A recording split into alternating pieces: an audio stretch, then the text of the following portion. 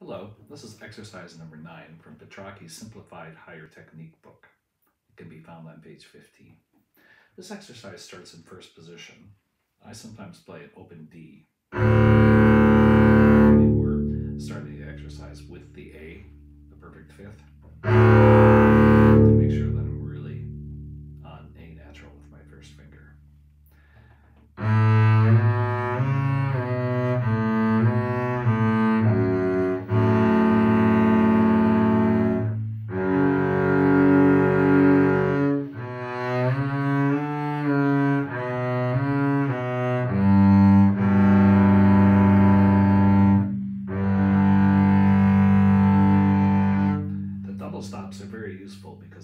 solidifies correct hand position and helps with your intonation.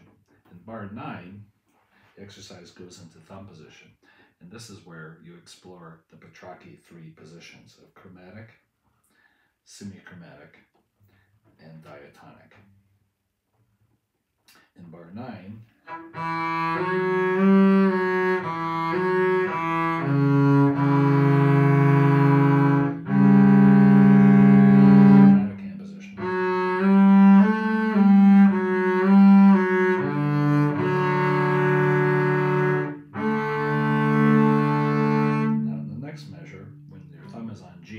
This is actually semi-chromatic.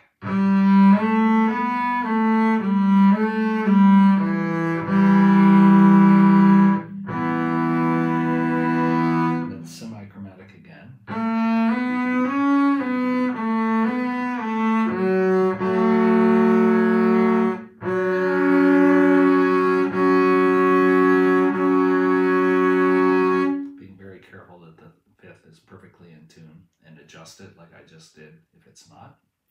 And then at this point, when the thumb is on B, we